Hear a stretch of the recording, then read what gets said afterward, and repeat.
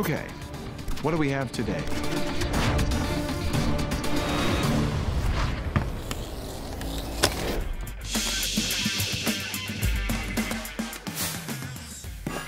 Do you know what's great about non-contact switches? There's no contact. So there's also no contact bounce or wear to worry about. So if you're still using the typical snap action switch, you need to make the switch to Omron's EESX series photo photomicrosensors, also known as optical switches. The sensors are a low-cost, high-speed, non-contact solution for presence, absence, and position detection with different body shapes and outputs to address nearly any application. EESX 97 series sensors offer the smallest footprint and standard connector interface to minimize cost.